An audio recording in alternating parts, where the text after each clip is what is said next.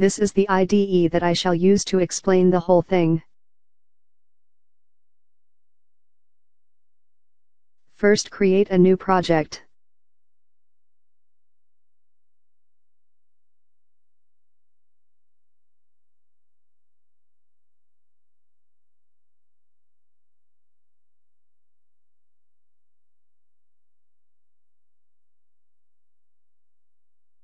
Select the basic template and give a name to your project.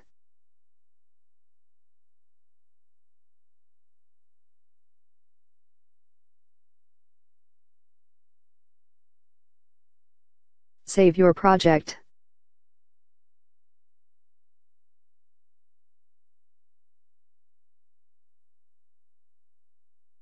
A source file containing the main function is added to this project.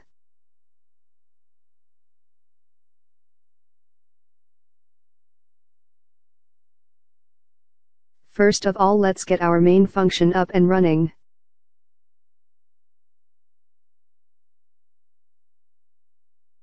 Add the required header files and namespace directives.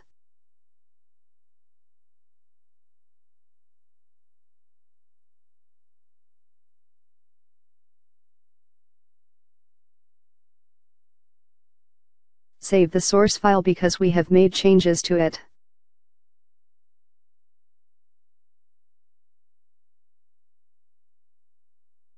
Compile the code.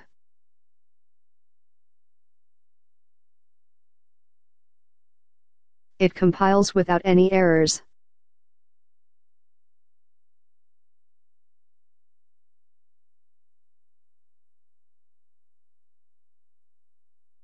Now run it.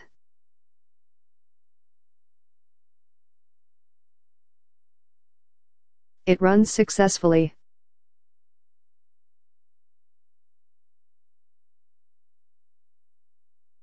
Next add a new file to your project.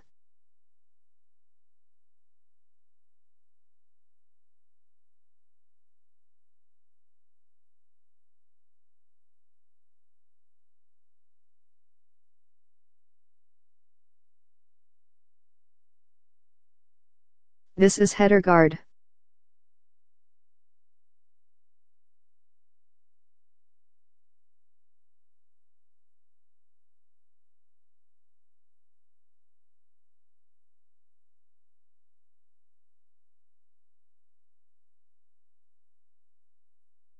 The header guard prevents this file from being included more than once.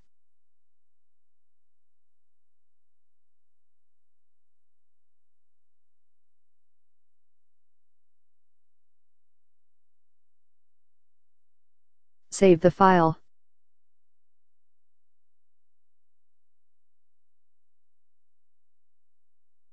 Give it a name and the extension for header files.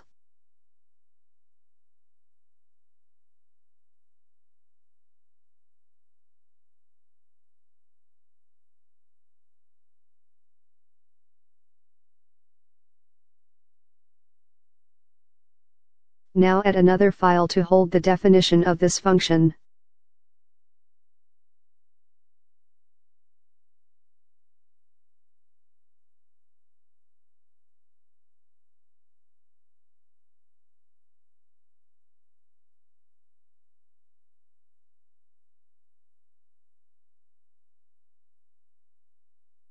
Include any header files needed for the code inside the body of the function.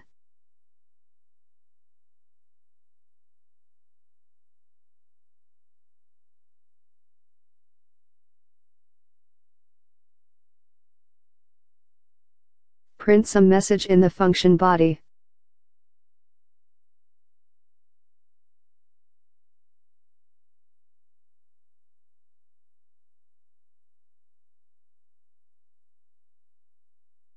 Save the file with any name. But it is common to keep the name same as of the header file. Give it the correct extension.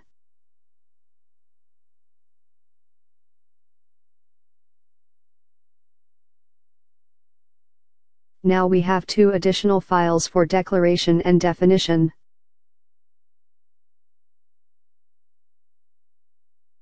This is the definition. And this is the declaration.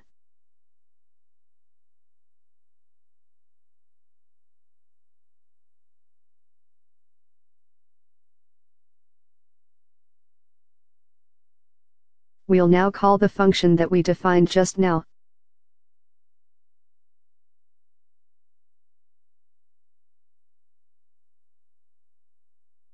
Include its header file so that it can be introduced to the compiler. Call the function here.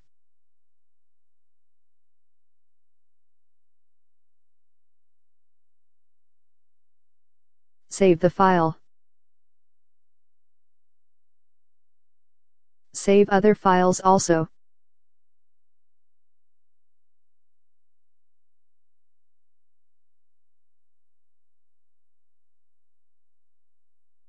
Run the code.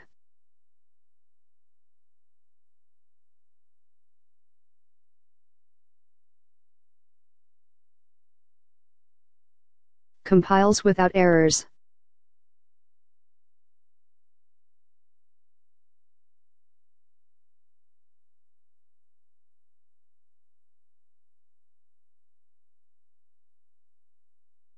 The function is called successfully.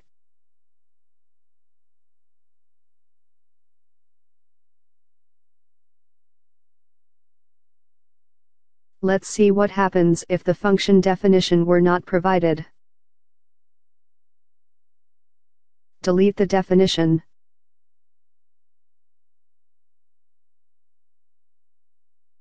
Save the changes.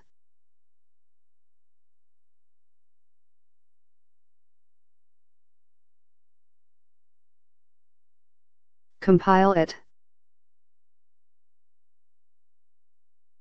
A linker error is thrown.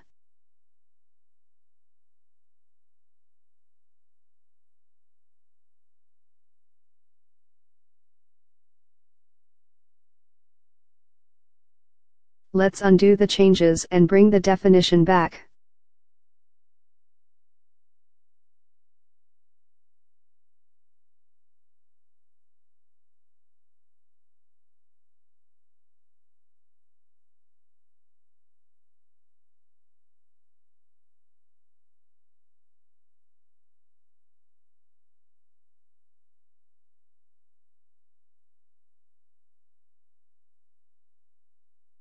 Again compile it. It will compile fine.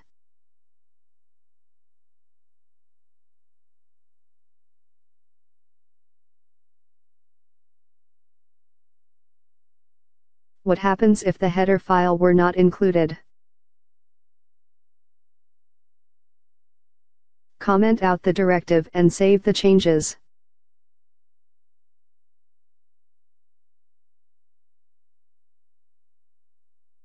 The code won't compile because the name fx hasn't been introduced to the compiler.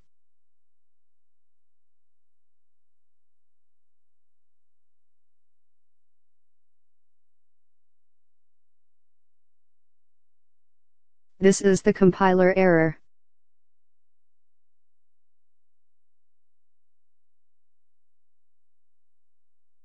Bring the header back.